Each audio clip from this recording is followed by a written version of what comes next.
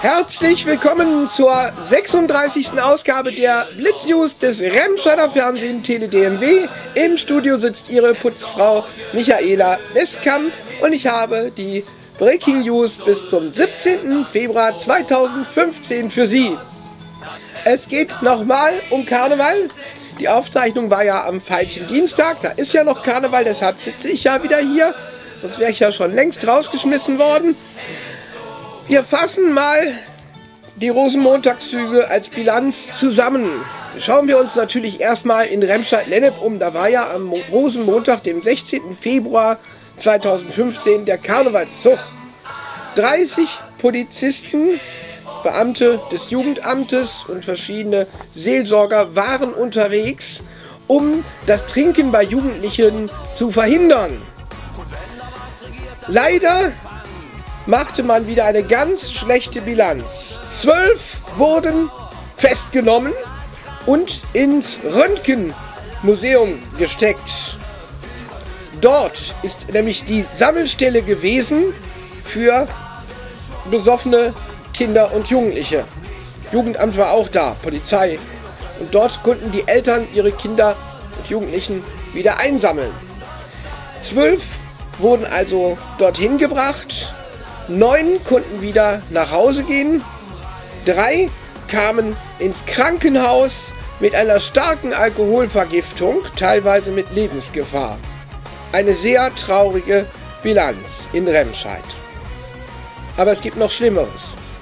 Ja, auch in Wermelskirchen, Dabringhausen ging was schief. Dort ist Folgendes passiert. Da waren es nicht die Fans vom Karnevalszug, sondern ja, die Jecken selber, die einen dicken Unfall hatten. Und zwar sogar der Prinz. Der allererste Wagen, der Prinzenwagen, oder der letzte, je nachdem, wo er fährt. Ähm, der Prinz ist 40 Jahre alt, der Mann, der junge Mann. Und er schmiss ordentlich Kamelle, wie sich das gehört, und hat das so wild gemacht, dass er prompt vom Karnevalswagen vier Meter in die Tiefe gestürzt ist. Er hatte dann nichts mehr zum Lachen, denn vier Meter Sturz ist schon was und er hat sich die Wirbel gebrochen. Er konnte aber noch reden und war noch ansprechbar.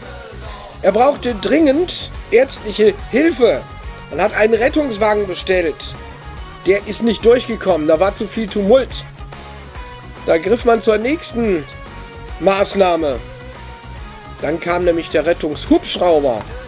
Und der brachte den Prinzen in eine Kölner Klinik, wo die Wirbelsäulenbrüche, äh, die Wirbelbrüche behandelt werden.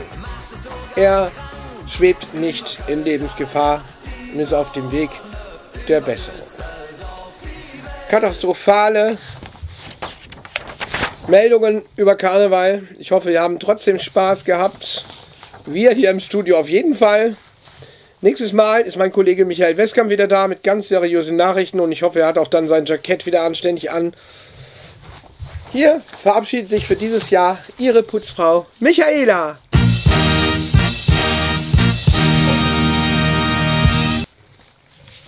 Ist ganz schön klein gedruckt.